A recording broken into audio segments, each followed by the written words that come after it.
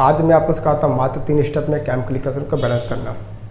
चलिए स्टार्ट करते हैं पहले स्टेप तो ये क्वेश्चन दे रखिए फ़िलहाल बहुत क्वेश्चन आसान है, इसको डिवाइड कीजिए टू पार्ट में एल में डिवाइड कीजिए देन आर में डिवाइड कीजिए, जो वैल्यू यहाँ पर की आती है।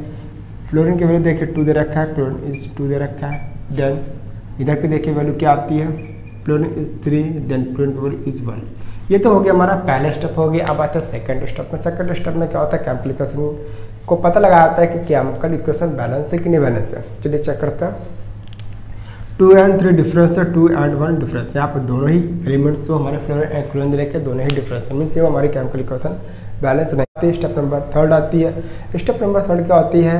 यहाँ पर है सब ट्रिक यूज़ करते हैं, इससे हमारी केमिकल इक्वेशन बेहद आसान तरीके से बैलेंस हो जाए। चलिए वो ट्रिक क्या है, आप देखिए।